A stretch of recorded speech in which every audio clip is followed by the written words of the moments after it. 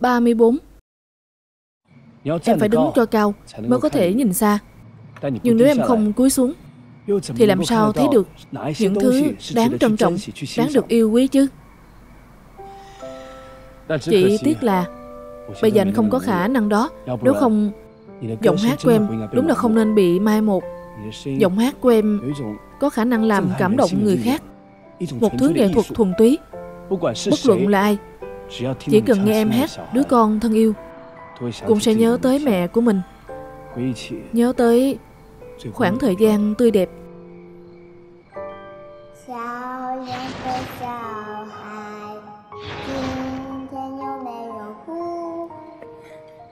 Em sao vậy?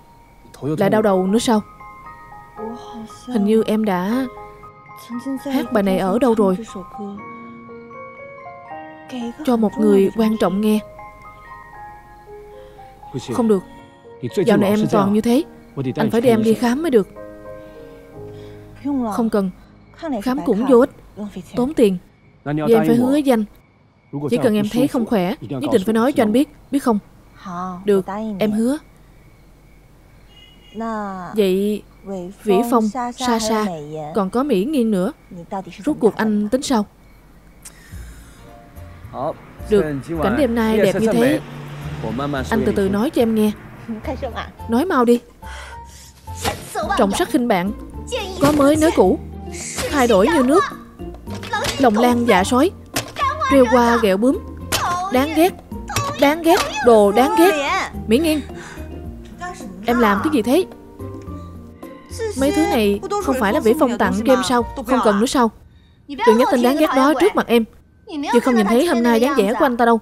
Trên người cứ như có keo vậy Cứ dính chặt lấy chị Sa Sa Chỉ cần Sa Sa cười với anh ấy Thì cả người anh ấy mềm nhũng ra. Trước đó còn nói là thích em. Em thấy đàn ông tỏ tình đều là giả dối cả.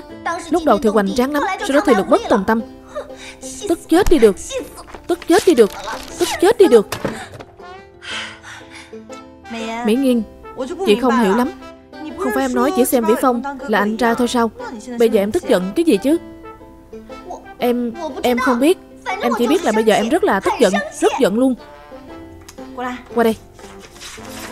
Qua đây. Ngồi xuống. Rốt cuộc anh muốn tôi đợi tới bao giờ đây? Anh xem lúc nãy Mỹ Nghiên giận tới vậy rồi. Đây là lần đầu Mỹ Nghiên nổi nóng danh đúng không? Chúc mừng anh. Trong lòng cô ấy anh từ nơi không có cảm giác nâng lên thành có cảm giác rồi. Chúc mừng sau Có gì đáng để chúc mừng chứ?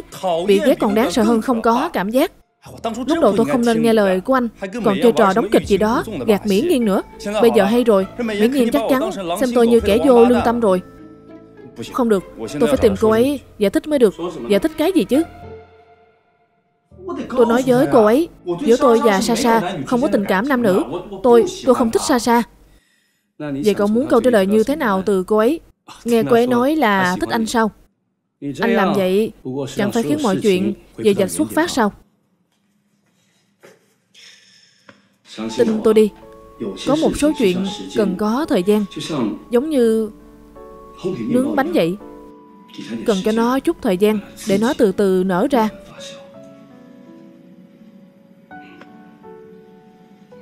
Mỹ Nghiên Trước đây Vĩ Phong đều một lòng thích em Mà em lại nói là không có cảm giác. Chỉ xem anh ấy như anh trai. Nhưng bây giờ anh ấy có được một cơ hội mới Thì em nên vui vẻ. Chúc phúc cho anh ấy mới đúng chứ Em biết là chị nói đúng. Nhưng khi em nhìn thấy anh ấy tốt với người con gái khác, Em lại thấy không vui. Em không vui Bởi vì em đang ghen sao Hay chỉ đơn giản là Sợ mất đi một anh Vĩ Phong, Chỉ cần gọi luôn luôn có mặt. Có một số chuyện có thể đặt trong lòng mà không cần nói ra, Nhưng có một số việc chúng ta không thể không đối mặt được. Mỹ Nghiên Em cũng lớn rồi. Cũng đã tới lúc nghĩ xem cảm giác của em đối với Vĩ Phong là gì. Nếu như cảm thấy em thích anh ấy, Thì mau chóng nói cho rõ ràng. Nếu cảm thấy không thích, Thì mau chóng buông tay. Chúc phúc cho anh ấy. Suy nghĩ cho kỹ đi.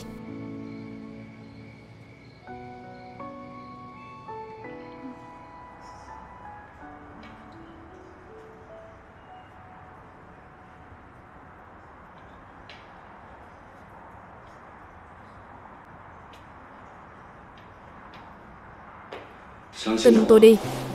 Có một số chuyện cần có thời gian, Giống như Nướng bánh vậy Cần cho nó chút thời gian Để nó từ từ nở ra.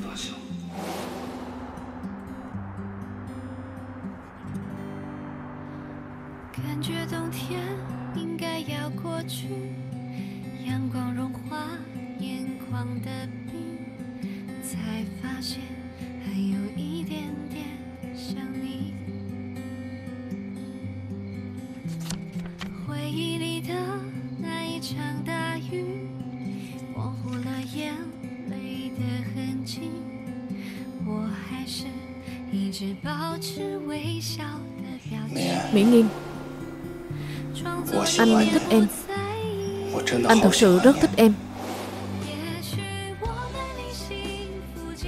Nếu như cảm thấy em thích anh ấy Thì mau nói cho rõ ràng.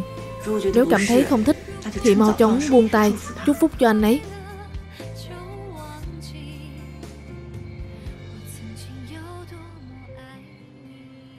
Mỹ Nghiên, bây giờ em sao rồi? Buổi sáng trời đẹp. Chào Quan Nghị Tôi cảnh cáo anh Bây giờ anh phải cho tôi một đáp án. Chuyện của Mỹ Nghiên giải quyết sao đây. Cứ cho là như anh nói đi. Đây là việc nướng bánh. Chờ nó từ từ nở ra Nhưng bây giờ lâu quá rồi Nó cũng sắp mốc luôn rồi. Nói cũng phải. Đi đi, đi tỏ tình đi. Đem những gì anh muốn nói Nói cho cô ấy nghe không sót chữ nào. Thật sao? Không phải Nếu lần thứ hai tỏ tình Lại bị cô ấy từ chối. Rồi làm sao nhìn mặt cô ấy đây? Anh yên tâm đi Tôi đã quan sát cô ấy giúp anh từ lâu rồi. Khương Mỹ Nhiên dùng ánh mắt Giết xa xa không biết bao nhiêu lần rồi. Tình cảm cô ấy dành cho anh Nhiều hơn anh tưởng đó. Đi đi. Là sống là chết. Một lần cho xong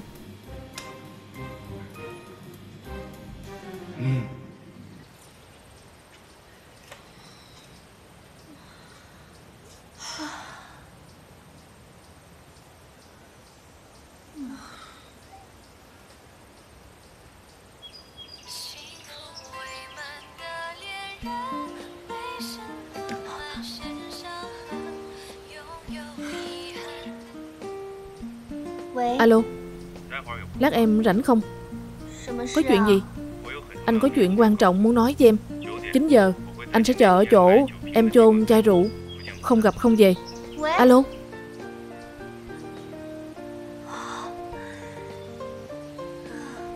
Khương Mỹ Nghiên. Chỉ là đi gặp Anh Vĩ Phong thôi mà. Bình tĩnh đi nào. Mày căng thẳng quá làm gì? Bình tĩnh nào Đâu có gì đâu Chỉ là gặp mặt thôi mà.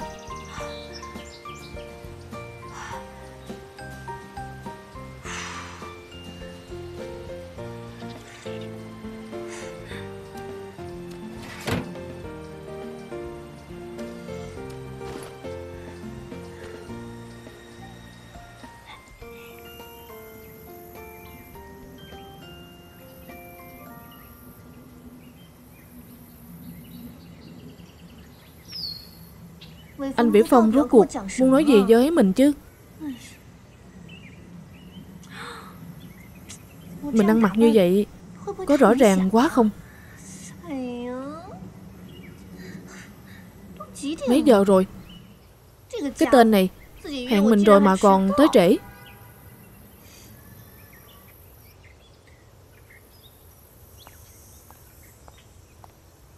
Gì vậy? Gọi cũng không nghe máy là sao? Cháu có phải là Khương Mỹ Nghiên không? Dân là cháu. Cái này là Vĩ Phong. Bảo cô đưa cho cháu. Anh Vĩ Phong Vĩ Phong đúng Nói cô đưa cho cháu. Cảm ơn cô nhé.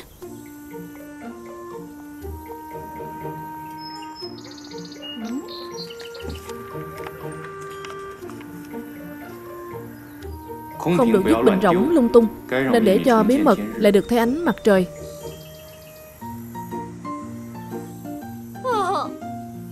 Cả một buổi sáng, nói mình tới thu nhặt rác, Muốn bảo vệ môi trường, Sao không tự tới mà đào đi?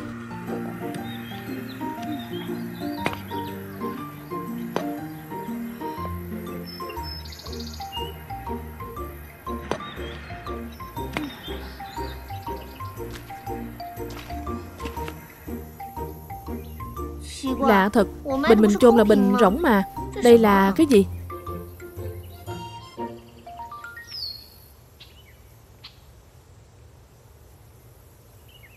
Mỹ Nghiên Anh quyết định len lén bỏ những lời không nói được với em Vào chiếc bình bí mật của em Thực ra mong muốn của anh sẽ mãi mãi không được em nhìn thấy Ít nhất thì anh có thể bảo vệ bí mật của em Anh vẫn luôn hối hận Lần trước đã nói rõ với em Kể từ khi em từ chối lời tỏ tình của anh Mỗi lần em gọi anh là anh Vĩ Phong Đều như đang nhắc nhở anh rằng Phải giữ khoảng cách với em Anh luôn tự nói với bản thân Chỉ cần có thể âm thầm ở bên em Thì đã cảm thấy thỏa mãn rồi. Nhưng mỗi lần nhìn thấy em buồn Anh vẫn muốn lao nước mắt cho em. Nghe thấy em bị bắt nạt Anh vẫn muốn ở bên cạnh em. Còn lúc anh lại nhìn thấy được nụ cười của em anh sẽ cảm thấy may mà mình vẫn chưa đi xa. Nhưng có lẽ tình cảm của anh đã làm phiền em rồi nếu em không muốn thấy anh xuất hiện bên cạnh em nữa thì anh sẽ rời khỏi đây chấp nhận lời mời giảng dạy của trường đại học bắc kinh. Nhưng trước khi rời đi anh không muốn cảm thấy hối hận. Cho nên anh vĩ phong muốn đi bắc kinh sao? Mình Mình nên làm sao đây? Mỹ Nghiên Anh thích em. Anh biết. Anh là con người không lãng mạn gì.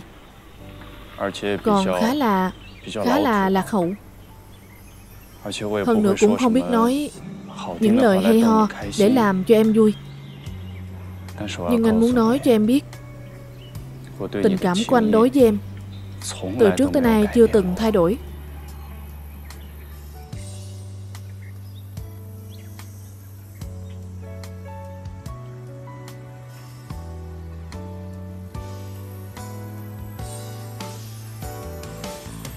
Mỹ Nghiên.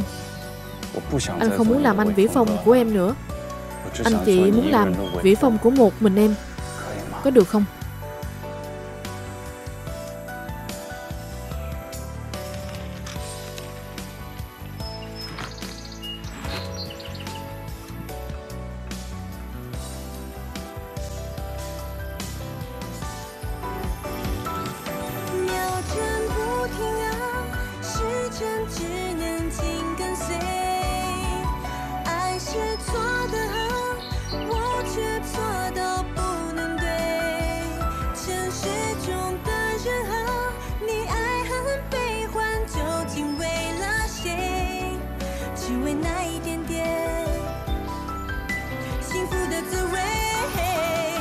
Thì là giám đốc nói mình tới. Là vì lý do này.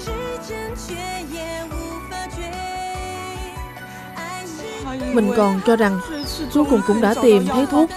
Có thể chữa bệnh độc thân của mình rồi. Ai mà ngờ bận rộn một lúc Vẫn là phí công rồi. Mình lại còn trở thành chất xúc tác cho người khác. Cảm ơn anh. Anh Vĩ Phong. Anh Vĩ Phong sao Tất cả mọi người đều gọi anh là Vĩ Phong Vĩ Phong rồi. Vậy nên anh Vĩ Phong Chỉ thuộc về em thôi. Còn nữa, Anh thật là lạc hậu. Thư tình vẫn còn nhét vào chai rượu. Tỏ tình còn có cả hoa hồng. Anh đã nói rồi mà, Anh là một người Không hiểu lãng mạn, Có hơi lạc hậu. Mới có thể thích em 20 năm được. Vĩ Phong. Mỹ Nghiên. Chúc hai người hạnh phúc.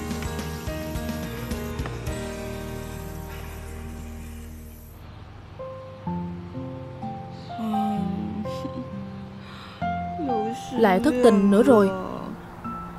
Rõ ràng là có cùng ngày sinh nhật. Tại sao chuyện tình cảm của giám đốc quan Cực kỳ thuận lợi? Còn mình lại cứ yêu không đúng người vậy chứ Ông trời ơi. Không lẽ chỉ có một mình tôi là ngược đời sau? Tại sao tôi cứ yêu không đúng người vậy chứ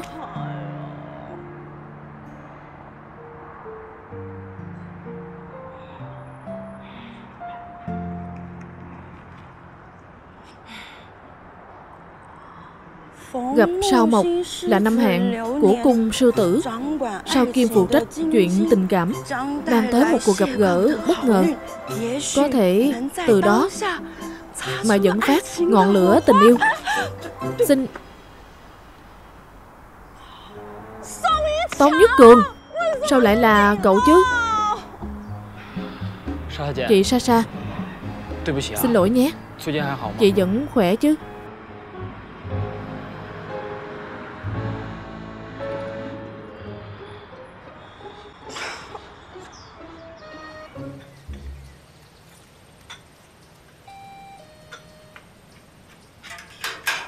Xin chào. Xin chào. Đây là trà hoa giảng phẩm Cô từ đặt trên mạng. Xin kiểm tra và nhận hàng. Được rồi.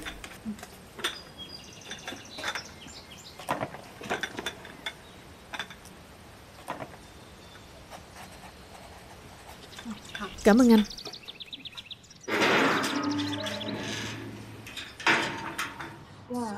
Khương Mỹ Lệ hát hay thật. Con gái của cô Uông Tuyền hát Không kém gì Uông Tuyền cả. Đúng thế Mình gửi sang cho bạn bè xem Từ Nhật Lâm còn kém xa. Cô ấy đẹp thật đấy. Đúng thật Anh cũng cảm thấy vậy. Cô ấy hát hay còn hơn cả các cô Từ Nhật Lâm kia nhiều. Anh có thấy vậy không? Xem này, đây không phải là con gái của Uông Tuyền sao? Đúng rồi, đúng rồi. Mấy hôm trước còn thấy bọn họ trên tivi mà. Không ngờ Uông Tuyền hát rất hay Mà con gái của bà ấy hát cũng hay như thế. Mặt thì xinh đẹp, hát cũng hay. Tôi rất thích. Đúng thế, thật là hâm mộ Bây giờ ai cũng đang nói về đoạn phim này. Quan Nghị Anh đúng là lợi hại. Đúng là con gián đập mãi không chết.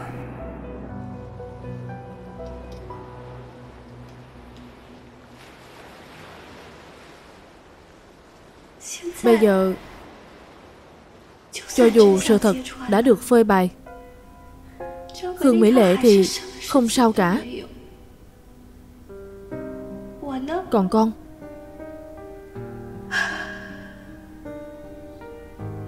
Đôi chân này của con Coi như bị tàn phế rồi. Đừng nói là nhảy múa. Bây giờ ngay cả quỳ xuống xin lỗi mẹ. Con cũng không làm được. Nhật Lâm nói rất đúng. Mình thật sự đã nợ con bé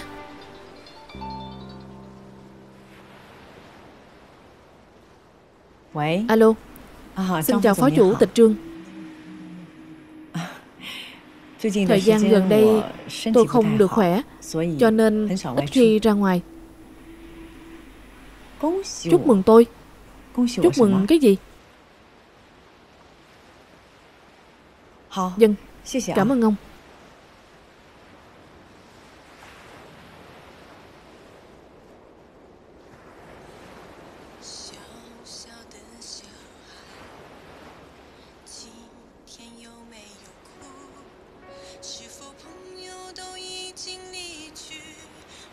tốt rồi bà chủ. Nếu viên dạy nhảy vừa mới gọi tới. Nói là Nhật Lâm tới đó tập nhảy rồi. Con bé này. Cô Từ, Mở cửa đi, cô Từ. Nhật Lâm, Cô Từ khóa cửa phòng lại rồi.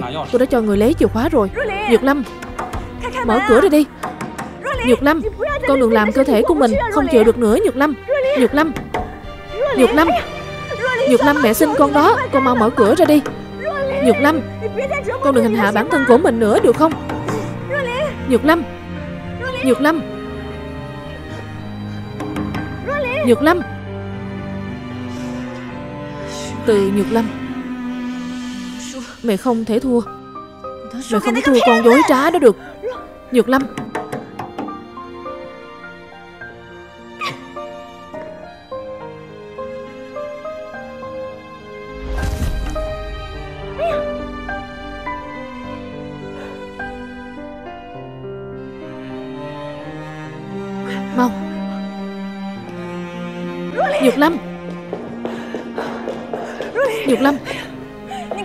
Làm như vậy Nhược Lâm Con biết rõ là mình không thể nhảy được nữa mà, Sao con còn muốn hạ bản thân mình như vậy nữa chứ? Con không cam lòng. Tất cả hào quang Khương mới Lệ có được hôm nay. Tất cả giống dĩ nên thuộc về con. Tại sao? Tại sao cô ta phạm lỗi Mà người chịu tội lại là con? Tại sao chứ?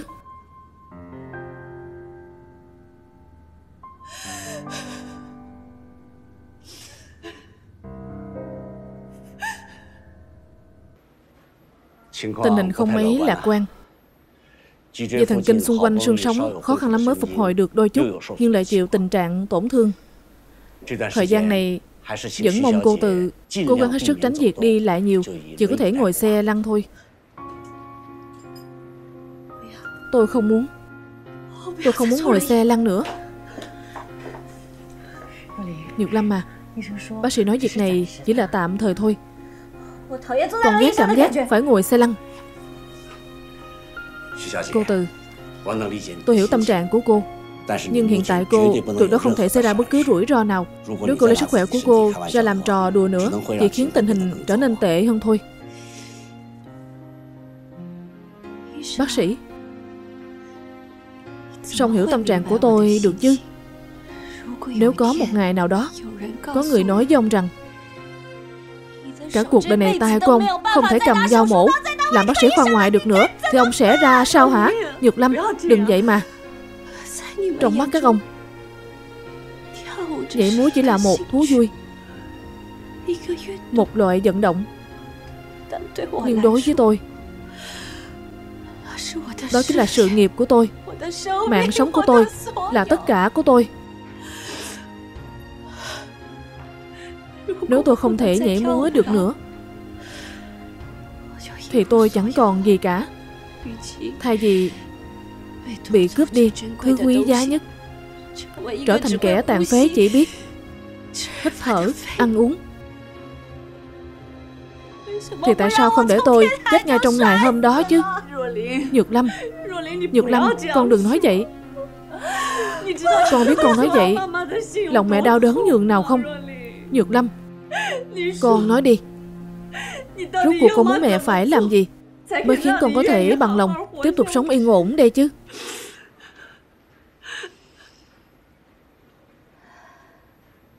Chỉ có một chuyện Có thể khiến con có ý nghĩ Muốn sống tiếp thôi. Đó chính là nhìn thấy Khương Mỹ Lệ. Nhận được tất cả những báo ứng mà cô ta phải chịu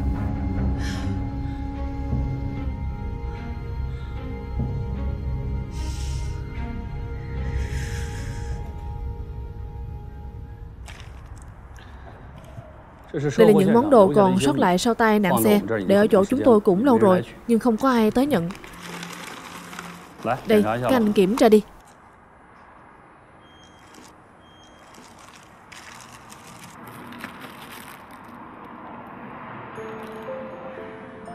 Nếu không có vấn đề gì.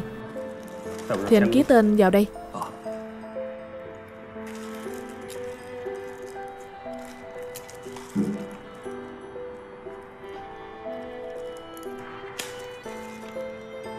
Cảm ơn. Đi thông thả. Đi thôi.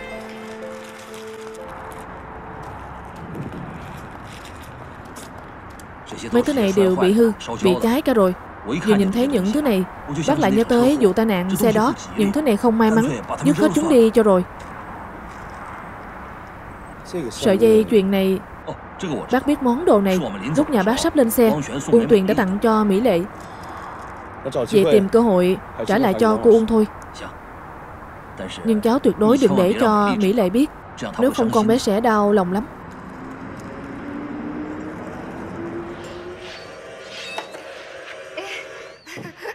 Mỹ Nghiên à Con nhìn cái máy này xem Thông minh thật đấy. Nó đụng người hay đồ vật gì Là có thể tự động xoay chỗ khác. Đương nhiên rồi Công nghệ cao mà. Mẹ muốn nó quét dọn bao lâu Thì nó sẽ quét dọn bấy lâu Đúng rồi mẹ. Khi nào mẹ giúp con chuẩn bị một Người máy làm trà sữa đi Lấy tất cả nào là đậu đỏ, yến mạch, cả tóc tiên nữa Trộn hết vào nhau luôn Vừa ngon vừa giải độc. Hơn nữa quan trọng là tiết kiệm sức lực. Như kiểu người thích nhờ giúp đỡ như con Thoải mái biết bao. Con dám trường mặt ra nói như vậy sao? Con không thấy người mẹ già của con Chính là chiếc máy tự động trộn trà sữa Đậu đỏ gì đó hay sao? Mẹ à Sao mẹ lại nói như vậy chứ? Con gái của mẹ cũng quan tâm hiếu thảo với mẹ mà. Mau mau chúng ta chơi điện tử đi. Con chỉ con chỉ cho mẹ cho. Mau mau vui lắm đó mẹ xem. Cầm cái này rồi nút này là nút đánh. Tất nhiên là đánh được mà. Con nào là của mẹ Nhưng vật Nam là mẹ đó. Quan Nghị nói đúng. Quả thật nhà chúng tôi lại có thể trở lại như xưa Nhờ một cuộc thi đấu ở khu phố đó. Đúng, chết thật rồi kìa. Mẹ, mẹ mau lên. Mẹ đánh nhầm người rồi. Mẹ đánh đồng đội rồi.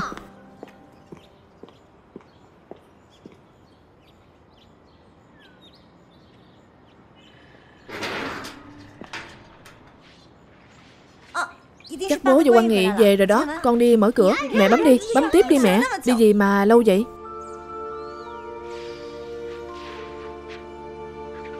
Cô. Mỹ Nghiên, sao mẹ Mẹ, mẹ chạy lên phía trước đi. Mẹ xem, đây mới là cây di chuyển nè. Mẹ.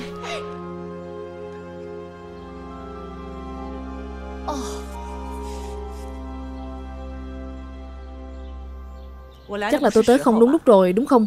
Xen vô niềm vui của nhà mấy người. Không đâu không đâu. Chị Uông Chào chị. Không biết đột nhiên chị ghé thăm. Tìm chúng tôi có việc gì không? Tôi đến nói cho các người biết. Căn nhà này tôi muốn lấy lại. Gia đình các người chuẩn bị dọn đi đi. Nhưng căn nhà này Gia đình cháu thuê của bác nhậm mà Tôi thấy các người hưởng lợi từ người khác dễ quá nên quen rồi. Trước giờ chưa từng nghĩ tới những vấn đề này. Căn nhà này vốn dĩ phải bán đi. Nhưng sau đó lại đột ngột chấm dứt. Rồi nhà các người lại được ở trong căn nhà này Mà còn không thu tiền nhà. Bác nhậm nói Vì hai bên là láng giềng lâu năm nên bác ấy rất đồng cảm với sự khó khăn của nhà cháu, nên mới tiện cho nhà cháu sau khi nhà cháu thư thả chuyện tiền bạc rồi mới trả tiền nhà. Lẽ nào cô nghĩ trên đời này có nhiều chuyện tốt tới vậy sao? Đưa tiền không lấy, còn để cho các người ở miễn phí. Tôi nói cho cô biết. Toàn bộ đều do tôi. Không nỡ để con gái ruột của tôi chịu khổ. Lại không muốn làm tổn thương tới lòng tự trọng của bố mẹ nuôi nó, nên thương lượng với chủ nhà mua lại căn nhà này, sau đó đặt ra một chuỗi lý do để mấy người không nghi ngờ gì cả không ngờ Nỗi khổ tâm của tôi Lại bị những kẻ quý độ riêng như các người lợi dụng.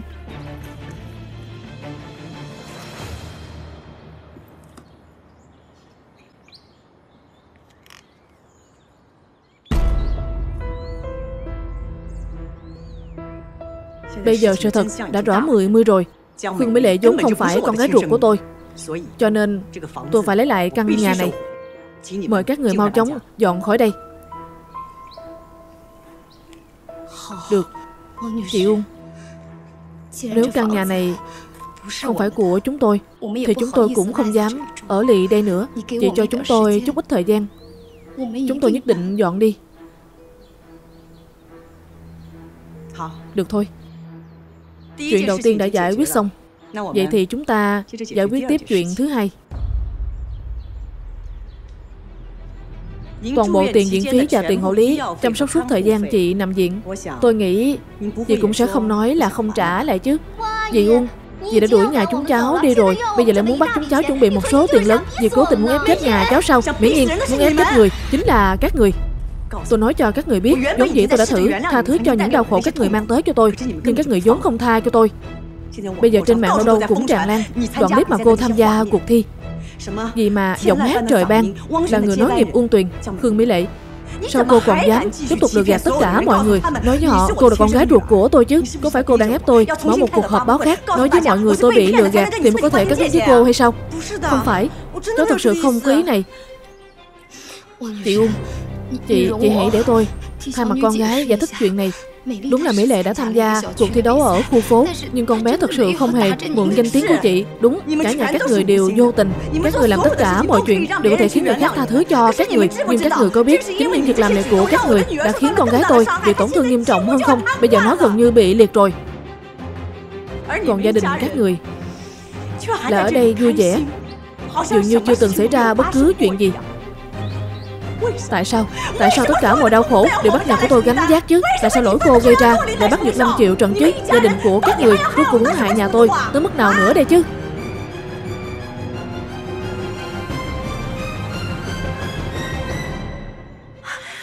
Chị Mỹ Lệ Cô Uông Nếu cô bằng lòng cho cháu một cơ hội để chuộc lỗi, Xin cô đồng ý cho cháu đến chăm sóc cho Nhược Lâm Cháu biết Dù xin lỗi bao nhiêu lần Cũng không bù đắp được. Cháu hy vọng có thể dùng hành động Để chuộc lại lỗi của cháu. Cô tưởng rằng Nhược Lâm muốn gặp lại cô sao? Tôi nói cho cô biết Cô đừng nằm mơ nữa. Con bé hận cô Cực kỳ hận cô. Con bé chỉ muốn cô chịu báo ứng thôi. Cháu biết chứ. Cháu có thể hiểu được tâm trạng của cô ấy. Cho nên Nếu việc cháu không hạnh phúc Có thể khiến tâm trạng của Nhược Lâm tốt hơn. Vậy thì cháu bằng lòng. Mỹ Lệ Mẹ không đồng ý. Mẹ. Cô Uông Xin cô hãy tin cháu. Cháu sẽ cố hết sức để chăm sóc cho Nhược Lâm. Chỉ cần khiến cô ấy vui vẻ. Cháu bằng lòng làm bất cứ việc gì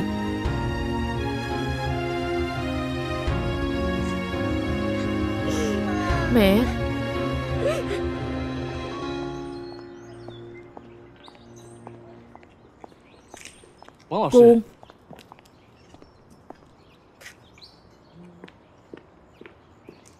Sao đột nhiên cô ấy tới nhà chúng ta chứ? Hỏng rồi. Nhất định trong nhà xảy ra chuyện gì rồi? Bà ơi. Mỹ Lệ. Mẹ Sự việc này không cần bàn nữa. Mẹ tuyệt đối không cho con vào nhà họ từ một lần nữa. Nói gì thì nói Rõ ràng là chị biết Nhược Lâm hận chị như thế. Lần này chị đi khác nào đưa dê vào miệng cọp Miễn nghiêng nó đúng. Thời đại nào rồi chứ? Làm gì có chuyện đem con gái của mình dâng cho người khác Mặc cho người ta ngược đãi. Người làm bố như tôi Kiên quyết phản đối. Con biết mọi người lo cho con. Nhưng việc con làm hại nhà họ từ cũng là sự thật Đặc biệt là với Nhược Lâm. Thứ mà con nợ cô ấy đúng thật là rất nhiều. Nhưng mẹ không nghĩ là Mẹ từ trước tới giờ con vẫn luôn muốn bù đắp cho những sai lầm của mình. Bây giờ cứ xem như là cho con một cơ hội. Mọi người đừng cản con nữa. Hãy cho con tới nhà họ từ đi.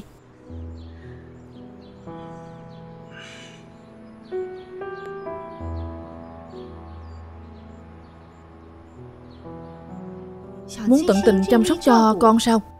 Chỉ cần là gì khiến con thấy vui vẻ, Cô ta cũng bằng lòng làm sao? Xem ra cô ta đúng là có lòng.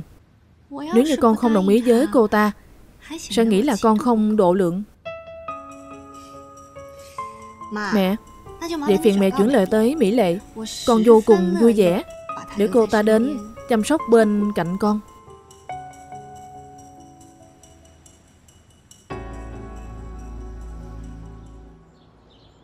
Mỹ Lệ con không thể suy nghĩ lại việc này sao? Thật sự không cần thiết đâu. Mẹ, Con đi chăm sóc cho Nhược Lâm. Chứ không phải đi chiến đấu đâu. Mẹ yên tâm đi. Mỗi ngày con sẽ gọi điện về cho mẹ. Thỉnh thoảng con sẽ về thăm bố mẹ.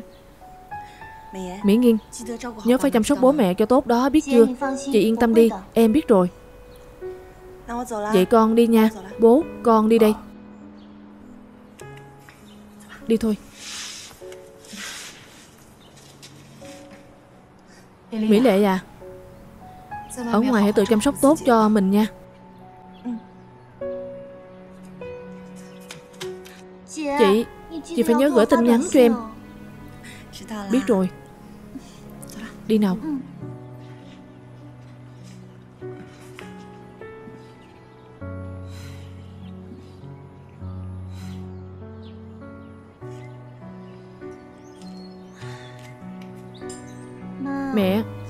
Ngồi xuống đi.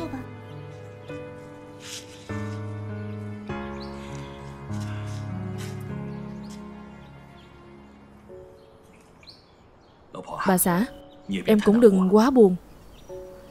Nếu như Mỹ Lệ Phải chịu nhiều quốc ức Thành sẽ tới nhà họ từ, Dẫn con bé trở về. Anh tuyệt đối không cho phép con gái của mình Bị người ta ức hiếp. Con gái của chúng ta tính cách như thế nào? Không lẽ chúng ta còn không rõ hay sao? Từ nhỏ tới lớn, Cho dù người khác ức hiếp nó như thế nào, Nó cũng không than thở một tiếng. Mẹ Mẹ đừng quá lo. Có lo lắng cũng vô dụng thôi, đúng không? Còn nữa Việc dì Uông muốn chúng ta dọn đi nữa Có phải chúng ta nên mau chóng tìm nhà không?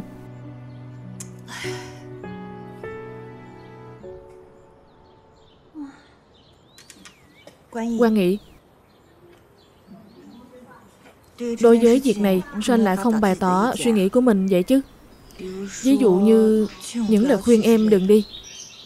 Anh nói ra thì em sẽ không đi hay sao? Nếu là vậy thì anh sẽ nói. Anh nói với em. Không lẽ em còn không hiểu từ Nhược Lâm hay sao? Dù em có làm thế nào, cô ta cũng không tha thứ cho em. Nhưng anh cũng biết. Em sẽ trả lời anh rằng Ít ra làm thế thì lòng em sẽ dễ chịu hơn một chút.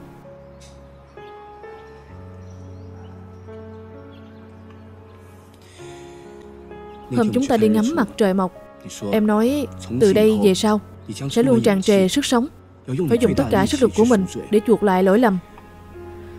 Anh nghĩ Nếu em đã có suy nghĩ như thế này, Dù anh không đồng ý, Anh cũng không nên ngăn cản em. Hãy hứa với anh, Phải chăm sóc tốt cho bản thân. Đừng chỉ nghĩ tới việc phải bù đắp cho Nhược Lâm. Em đừng quên, Em còn có gia đình, Bố mẹ em Và cả anh nữa. Mọi người đều rất lo cho em. Rồi Em hiểu cả mà. Lên xe thôi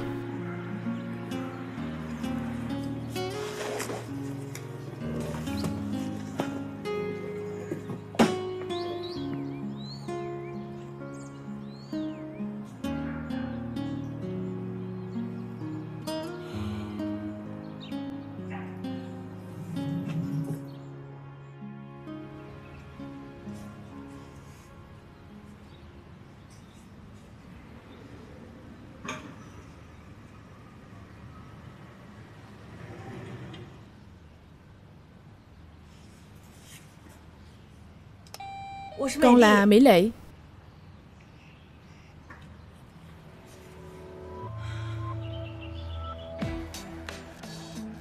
Mỹ Lệ tới rồi. Chào cô Uông. Chào Nhược Lâm. Hương Mỹ Lệ. Thời gian gần đây cô chẳng thay đổi chút nào cả. Còn tôi thì thay đổi khá nhiều đấy. Cô xem Tôi lại bắt đầu quay về với chiếc xe lăn này rồi. Tôi phải nhắc nhở cô trước Chăm sóc cho người bệnh Là công việc tốn công, tốn sức. Hy vọng tới một lúc nào đó Cô đừng vì cực khổ Mà cảm thấy bị ngược đãi. Tôi sẽ không nghĩ như thế đâu. Tôi thật lòng muốn tới đây để giúp đỡ. Cảm ơn cô và cô đã cho tôi cơ hội này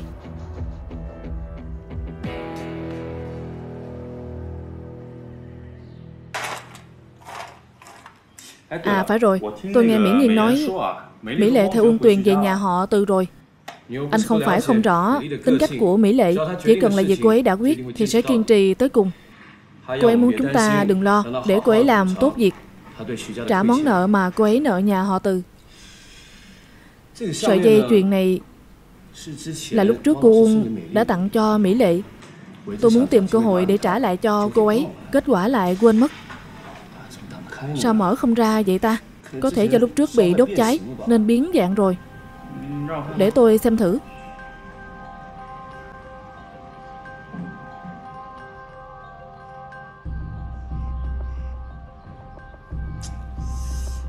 Đúng vậy rồi.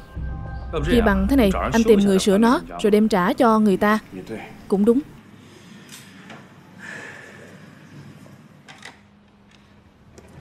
Trong nhà không còn căn phòng nào tiện nghi nữa.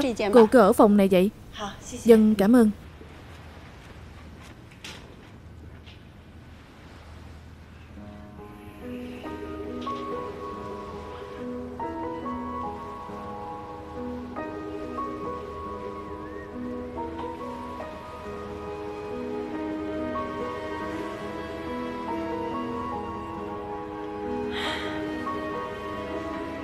Hương Mỹ Lệ Nhất định mày làm được. Cố lên. Nào, món con thích ăn nhất đây. Mẹ cố tình bảo dì Dương hôm nay trưng cho con đấy. Nào, cảm ơn mẹ. Ăn nhiều chút, được rồi. Món này cũng rất ngon, ngon thật. Được rồi, được rồi. Bố về rồi kìa. Ngồi xuống cùng ăn cơm đi. Anh về rồi, nào nào ngồi xuống. Anh nói này hai mẹ con em. Sao hôm nay trò chuyện vui thế chứ Lúc anh không có ở nhà Đã xảy ra chuyện gì rồi sao? Xem anh nói kìa. Giống như mẹ con em giấu anh việc gì vậy? Mẹ nói không sai. Trước mặt bố Cái gì cũng không thể giấu được hết. Tốt. Canh tới rồi. Canh tới rồi. Chú Từ. Hương Mỹ Lệ. Sao cô lại ở đây Là em muốn nói về đây. Uông Tuyền Em lầm lẫn nữa rồi sao? Sao em để cô ta tới đây ở được chứ? Có lẽ Nó lại nói điều gì Khiến em phải tin nó rồi. Bố Vì con nên mẹ Phải để Khương Mỹ Lệ quay về đây đấy. Bởi vì Mỹ Lệ nói Cô ta muốn chăm sóc cho con Dùng hành động thực tế để bù đắp Cho những lỗi lầm của cô ta đã gây ra. Con thật sự muốn giúp đỡ. Xin chú hãy cho con cơ hội. Tôi không cần Tôi mời cô lập tức rời khỏi nhà chúng tôi ngay